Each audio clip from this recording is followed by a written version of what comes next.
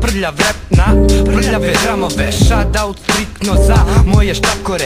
Sample ubica, svaka ulica me poznaje Instrumentale, ko trljam kroz podrume. Gospodin Geza, kalesinski jakuza Flaša vina, sound jazza i bluza. Gotivna stvarka, znaš o čemu pričam. Zvuk ide lagano, majk razbijač nisam.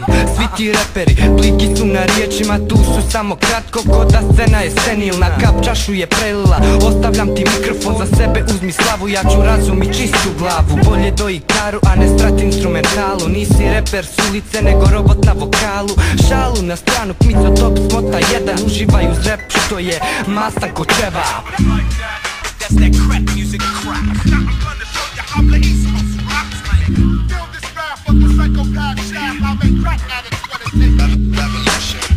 Revolucija klasike opet aura se širi. Cash, fame i folkaše da zauvijek umiri Famozni reperčiće s naglaskom u tekstu. Vraćamo se jači da ih naučimo respektu. 90. su bile i ostale sa nama. Kvice izraslo jako stablo prva odbrana. Jači nego ikad i svijest vam se mijenja. Čuješ ovaj tekst i znate drugi samo kenja. Gangsteri i luđaci, flaša turbo folkaši Poslušaj moje kvice i reci ko je jači. Bio sam kad se sad pretvori u klasiku Bio sam kad se rap pretvori u plastiku.